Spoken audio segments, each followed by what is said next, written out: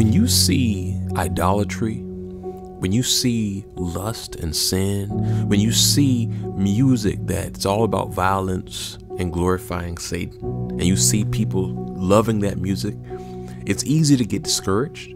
But remember, the Bible said this is exactly what would happen before Jesus returns.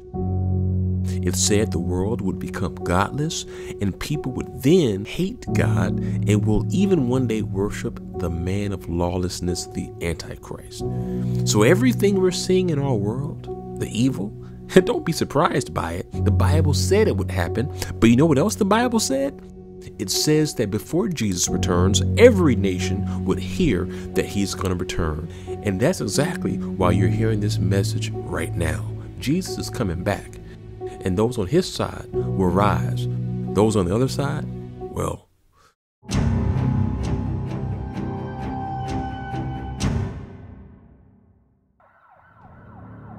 Godlessness is clearly growing. No one can deny that. And sometimes, as we see in Scripture, when wickedness grows, God is known for raising up those like Elijah to call it out. So, let's talk about Elijah.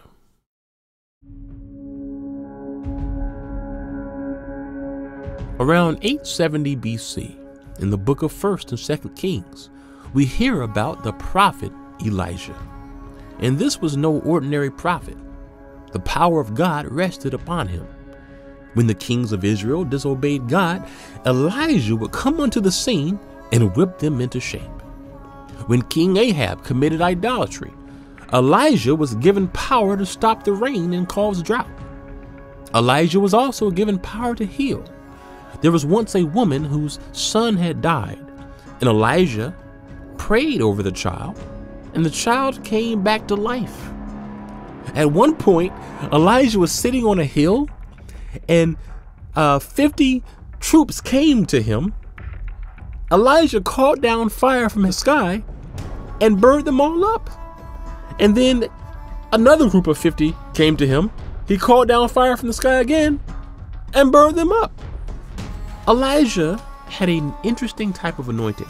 This is why many refer to him as a warrior prophet.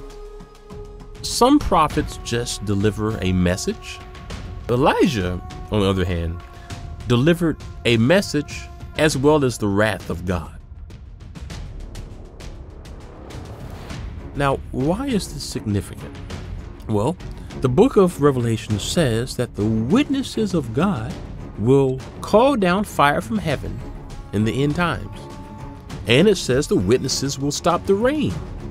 And so many theologians argue that the same type of prophetic anointing and power that was on Elijah seems to be the same type of prophetic anointing that will be upon the witnesses.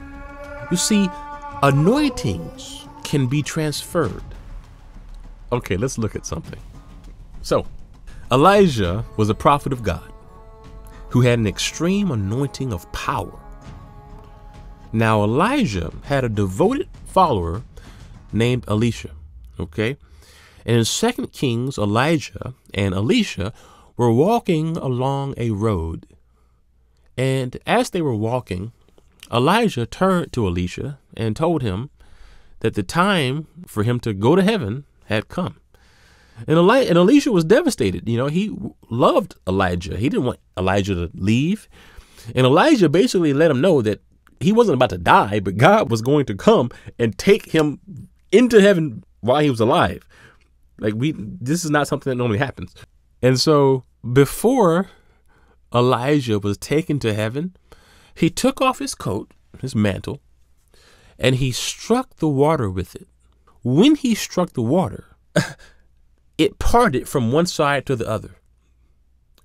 And then both Elijah and Elisha walked to the other side of the land. I'll never be able to do what you do. You will, Elisha. And after that, Elijah turned to Elisha lets him know that he's about to go to heaven. And before he goes to heaven, he says, Elisha, I'm going to give you one final request to ask of me before I go. And so look at how the conversation goes in uh, 2 Kings 2 9. Ask what I shall do for you before I am taken from you. And so here in this moment is Elisha's big chance to ask for anything from Prophet Elijah before he goes to heaven. Like, whatever you want, I'll give it to you. Just ask. So let's see what Elisha asks for. and so Elisha says, Please let there be a double portion of your spirit on me. Wow. Elisha could have asked for anything, but he says, Elijah, whatever is on you, whatever type of anointing is on you, please let me have it and a double portion of it because I want that type of power. He makes this request, right? He wants a double portion of Elijah's spirit. And after he makes that request, then out of nowhere, just a chariot of fire comes. A whirlwind picks Elijah up and he's carried to heaven. And you can just picture Elisha looking up like, well, I guess that's it. My master's, my friend is gone. My master's gone. But as Elisha's looking up, he notices that Elijah left something behind. You see, as Elijah was ascending to heaven, he left behind his coat. so Elisha picks up the coat. Now remember, Elisha has no power, right? He's a follower of Elijah, but he has no power. He's not really known as a powerful person at this point. But he sees Elijah left behind this coat, this mantle. So Elisha, he picks it up and when he picks it up, he it's like he's thinking, okay, let me just try something here. Because remember, Elijah had hit the water with the coat, and then the water parted from one side to the other, and they walked both walked through. So Elisha grabs the coat, and it's like he's saying, okay, let me let me try something here. So Elisha then hits the water with the coat, and just as Elijah did, the water parted, and everybody saw it. Jaws dropped. And when people saw this, this is what they said in 2 Kings 2:15 the spirit of Elijah rests upon Elisha. Elijah left behind his coat. And when Elisha got the coat, his mantle, he was clothed in the spirit of Elijah. Now, this is this is pretty cool. So Elijah goes to heaven, he leaves behind his coat. Elisha picks it up. Now he has the spirit of Elijah. But remember, the spirit of Elijah is not just any type of anointing. No, the spirit of Elijah is a warrior for God anointing. Okay? so if you get if you have that type of anointing that comes upon you, mm, that's that's kind of a big thing. So let's look at what Elisha did after he was clothed with this type of anointing.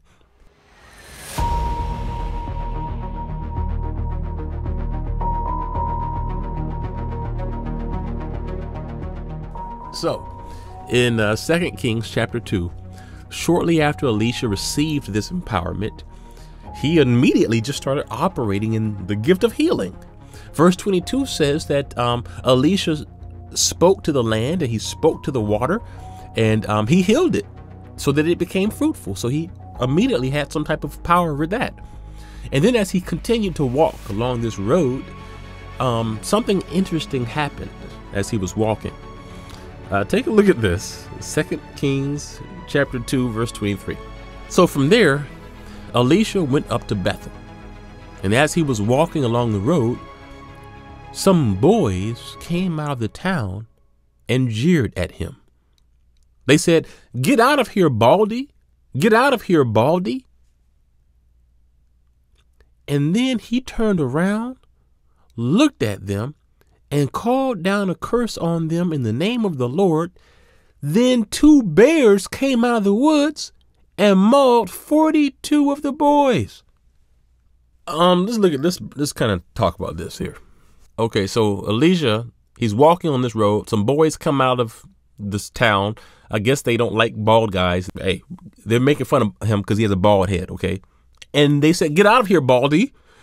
He didn't like that. He knows that he has the spirit of Elijah on him. He calls a curse on him. Two bears come out. The boys get torn up. I don't know if they died. I don't know. But there's two things we can learn from this. Number one, uh, clearly Elisha was bald, and he didn't want to be made fun of about that. He he wasn't having it that day. okay.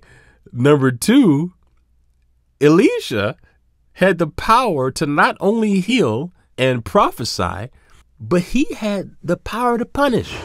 The point is this when someone is operating in the spirit of Elijah, don't make them mad. That's a warrior spirit. You don't want to mess with someone who is operating in that type of anointing. Elijah, remember, Elijah called down fire from heaven to destroy 50 soldiers, and then he did it again. Elisha had bears come out of the woods. The spirit of Elijah anointing, it doesn't it doesn't play. The question is, is there any indication that the anointing or spirit of Elijah can still cover people today? Well, let's look at what Malachi says. In Malachi chapter 4, it says that before Jesus returns, or really before the Lord comes, Elijah would return. Look what it says, verse 5. See, I will send the prophet Elijah to you before the great and dreadful day of the Lord comes. And so, this is why many people, even in Jesus' day, they knew about this verse. They knew that Elijah was supposed to come on earth again before Jesus was here. And so when they saw Jesus walking around, people would come up to him and say, you know, Jesus, you're here. So where's Elijah? We know Elijah. He's supposed to come before you, before the Lord shows up. So where's Elijah? We know, we see you. Where's he?" And look at what Jesus responded to them in Matthew 17, 12. He says, But I tell you, Elijah has already come, and they didn't recognize him, but have done to him everything they wished. And in the next verse it says, Then the disciples understood that he was talking to them about John the Baptist. Wow. Jesus told them, Elijah, he already came. He came. But not physically, but spiritually through John the Baptist. and this is why when John the Baptist was about to be born, look at what an angel said to his parents. Luke 1:17. And he will go on before the Lord in the spirit and power of Elijah to turn the hearts of parents to their children and the disobedient to the wisdom of the righteous and to make ready a people prepared for the Lord. Okay, this this is deep. And and, and I got to make this clear. I got to make this clear. So, because this kind of was talked about in one of the uh, two witnesses documentaries, and people have then asked, okay, so was John the Baptist a reincarnation of Elijah? No, I don't think this is saying anything like that. This is talking about something else. You see, John the Baptist was a person just like Elisha who operated in the spirit of Elijah, in the anointing of Elijah. You see, even though Elijah went to heaven, when he dropped his coat, what happened? Elisha picked it up, and then that same spirit, that same anointing that was on Elijah was transferred to Elisha. So just like how Elijah was still in heaven while Elisha had power, Elijah was still in heaven when John the Baptist had power because John the Baptist also according to Luke 117 and Jesus was operating in the same type of spirit and anointing, the same mantle of Elijah. Why? Why did, why did John the Baptist have to operate in that type of anointing? To fulfill prophecy. You see, when the Bible makes a statement, it has to be fulfilled, and God will see to it that it is fulfilled. Because in Malachi chapter 4, verse 5, it clearly says that before the Lord comes, Elijah must come first. And so, to satisfy that prophecy, the spirit of Elijah had to come. It had to rest upon a messenger to prepare people for the Lord. Now, John the Baptist operated in the spirit of Elijah for Jesus' first coming. But we know Jesus is coming again. And the great and dreadful day of the Lord is still to come. And so, to satisfy that prophecy, we know that it is likely that the spirit of Elijah must come again. Because as the prophecy in Malachi says, whenever the Lord comes, the spirit of Elijah must first come to do what? Prepare the way. And this is why, before Jesus returns for the final time, it says the two witnesses will do what? Stop the rain, cause fire to fall, create plagues. Why? To prepare people for the coming of the Lord. The spirit of Elijah is coming back. Some people say that um, perhaps Elijah himself will physically return and do all of these things as one of the witnesses. And hey, and if you share that view, great. You know, share more of your perspective in the comments. That's what we're doing. We we learn from each other. Now, personally, I think you can gather from some of our previous content that I lean towards those theologians who believe that there's some symbolism there and that the spirit of Elijah can satisfy this.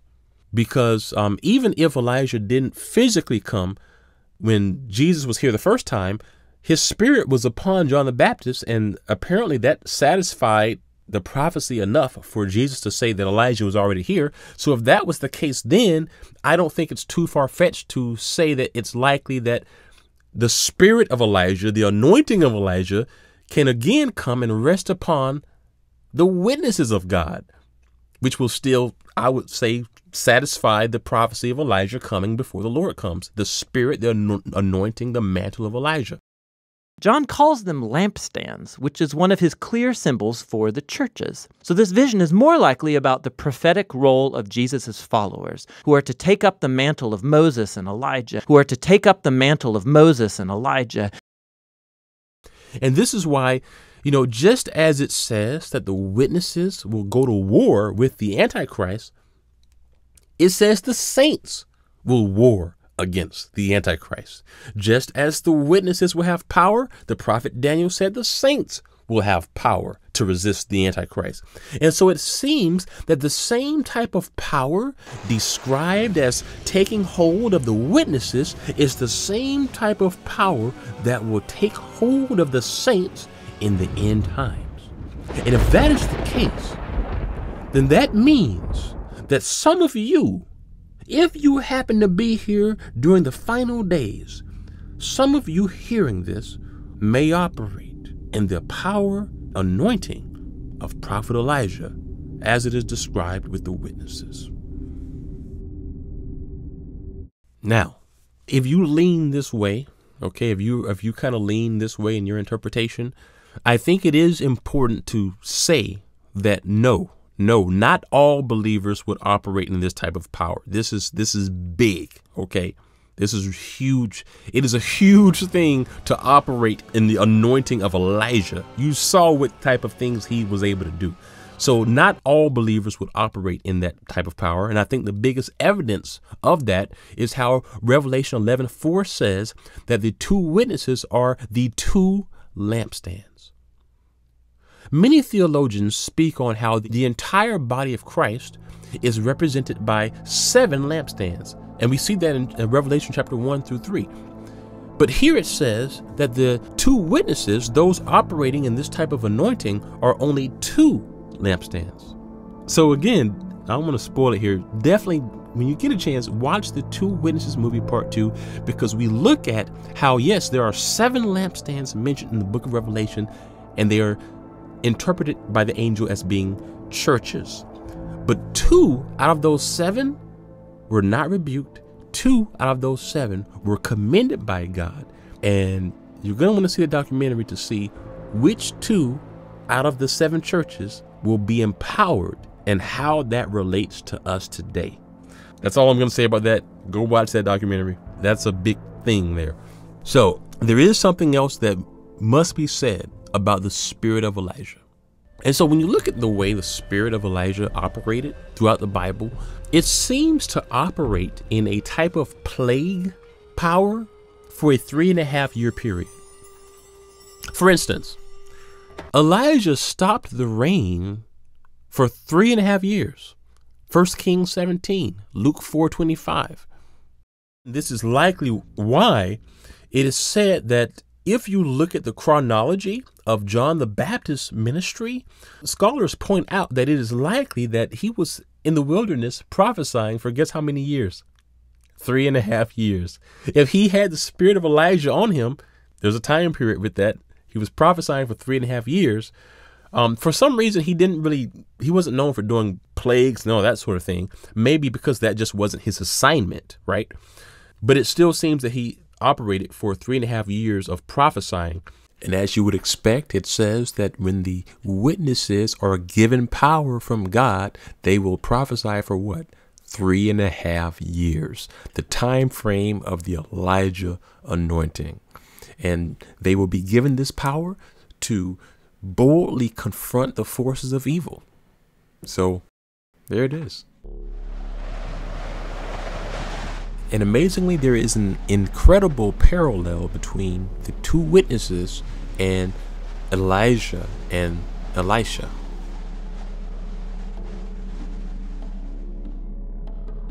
And they will prophesy for what? 1260 days. 1260 days is 42 months. Interestingly, when you go back to here, how many of the boys were roughed up? 42. And how many bears came out of the woods to attack them for mocking them? Two bears. And so it is interesting because some have said that this may be a parallel of how the witnesses will have power, the witnesses of God, and, I, am just going to leave it at that because there are many interpretations with that. And you can look at some of our videos for where we lean on it. But whatever your perspective is regarding who the witnesses are, we know they will have the power of God on them. We know that the world will mock them and not listen to them like this. These kids here are mocking these prophets, right? And how many boys? 42.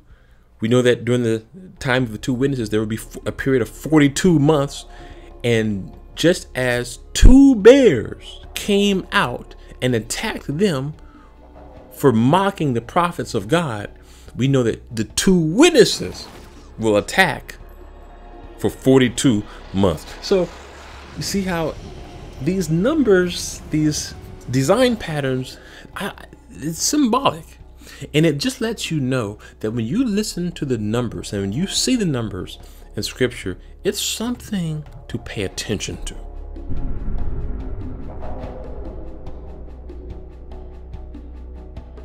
Now, we know that the spirit of Elijah has the ability to create plagues.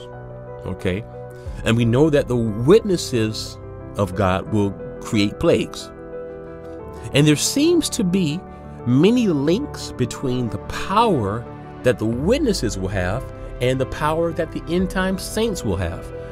In the recent documentary, we looked at how it is likely that the prayers of the saints will have something to do with the plagues that will come. Is there anything in the book of Revelation that shows that the plagues that will come were created by the prayers of the saints? Well, let's read Revelation 8 6. Now, the seven angels who had the seven trumpets prepared to blow them. The first angel blew his trumpet, and there followed hail and fire mixed with blood, and these were thrown upon the earth. And a third of the earth was burned up, and a third of the trees were burned up, and all green grass was burned up. The second angel blew his trumpet, and something like a great mountain burning with fire was thrown into the sea and a third of the sea became blood. And so, you know, you can keep reading and you will see that as each angel blows a trumpet, some type of plague takes place. So, what was it that caused the angels to do this? Well, when we scroll up to verse 2, it tells us what happened right before the angels started blowing those trumpets and causing plagues. Look at how it reads. Then I saw the seven angels who stand before God, and seven trumpets were given to them. And another angel came and stood at the altar with a golden censer, and he was given much incense to offer with the prayers of all the saints on the golden altar before the throne. And the smoke of the incense, with the prayers of the saints, rose before God from the hand of the angel. And then the angel took the censer, filled it with fire from the altar, threw it on the earth, and there were peals of thunder, rumblings, flashes of lightning, and an earthquake. And after that, then we see the angels started blowing those trumpets. My friends, the main ingredient that caused these things to happen was what? The prayers of the saints. Prayers are powerful. When you get a group of believers praying about something, things happen. We got to understand the power of prayer. the thing that caused the angels to even do this, to create these plagues, was the, the prayers of the saints. That was the key ingredient that was presented before God. Because when you have enough people praying, it sends up an aroma to God that causes even angels to act. And so, friends, get ready. Because just like Elisha picked up Elijah's coat and operated in his anointing, I believe many of you will do the same. God has that mantle, but I believe He is ready to clothe His people, His faithful followers, who are like the two lampstands in the coat of Elijah. The anointing of Elijah is making a return, and the prayers of the saints will do mighty things.